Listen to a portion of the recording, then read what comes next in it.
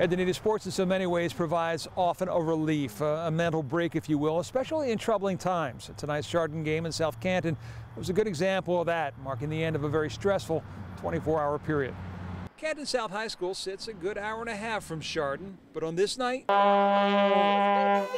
was the feel of a home game as fans dressed in red and black made the trek to Stark County. We always back our toppers. The community involvement that we have with our team is it goes deep, so we wouldn't miss it. To be clear, not all the support for Chardon was from Chardon. South Canton making the Hilltoppers feel welcome. Because we just need to show our support even here in Canton, you know, for for the people in Chardon and what they've all gone through.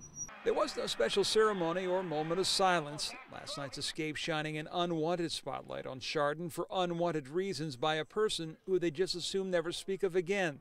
As a result, the media here kept in a cordoned off area behind the end zone to allow those looking to take a break from reality to do that. I think everybody just wants it to be over and it resurfaced again.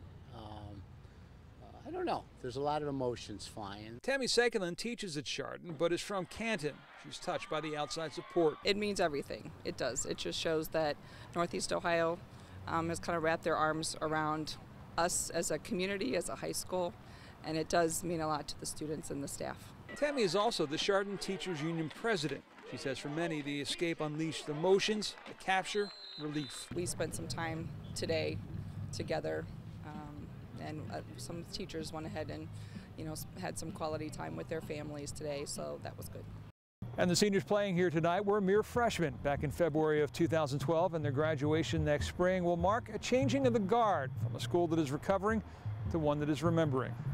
In Canton, John Kosich, News Channel 5.